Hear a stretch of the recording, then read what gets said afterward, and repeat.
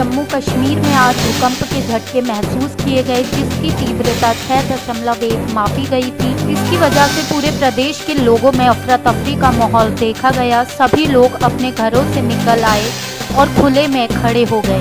ऐसा ही नज़ारा रजौरी डिस्ट्रिक्ट में देखा गया, जहाँ लोग घरों से बाहर आ गए। आपको बता दें, जम्मू कठुआ, कुलगांव, हीरानगर, पुंछ, कश्मीर लोगों का कहना था कि भूकंप के झटके काफ़ी देर तक रहे। सभी जगह ये झटके महसूस किए गए। इन्हीं कुछ लोगों से बातचीत की जेके खबर नाव के रिपोर्टर सुशील दत्ता ने। आइए सुनाते हैं आपको। एक दहशत का माहौल बन चुका है। जैसे कि आपको पता है कि अभी यहाँ पे भूचाल के झटके महसूस किए गए हैं।